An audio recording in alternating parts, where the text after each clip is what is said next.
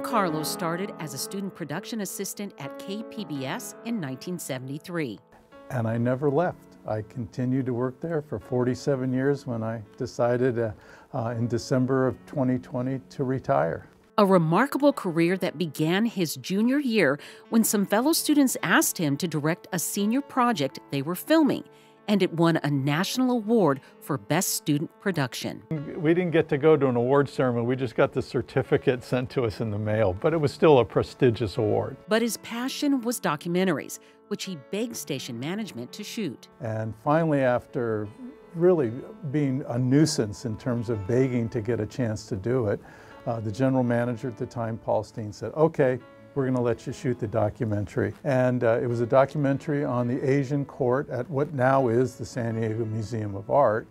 And I shot it, I put my heart and soul into it, and I won an Emmy for it as, as a student while I was still an undergraduate. Among his later famous classmates were Hollywood blockbuster producer and Lucasfilm president Kathleen Kennedy, Academy Award winning cinematographer Russell Carpenter, and television producer and director Jeff Melman.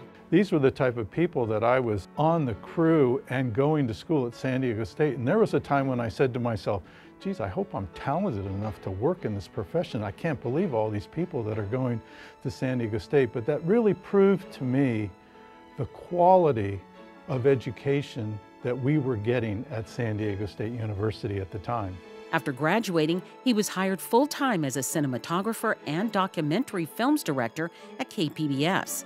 Working on a project with SDSU's football team, he was struck by the notion of shooting for NFL films. And I did a couple of practice games in 1977. They hired me in 1978. The very first game that I worked for NFL Films as a paid cinematographer was on September 10th of 1978. The Oakland Raiders played the San Diego Chargers. And it was that game that one of the most famous plays in the history of the NFL took place. The play they called the Holy Roller Raiders versus Chargers with the clock running out. About to be sacked, the Raiders quarterback fumbled the ball forward with two teammates helping it roll into the end zone. It was ruled a touchdown for the Raiders' win.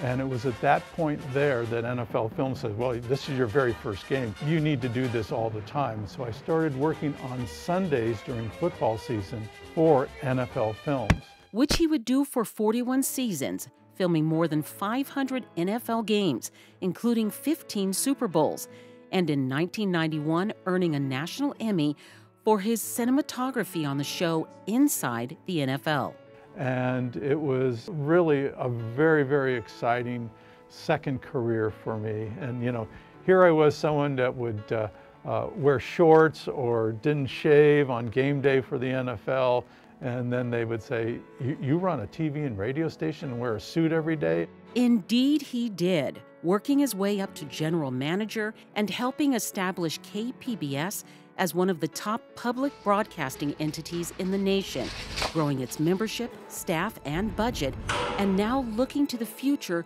with a facilities upgrade and expansion, always emphasizing that KPBS is a public service of San Diego State University.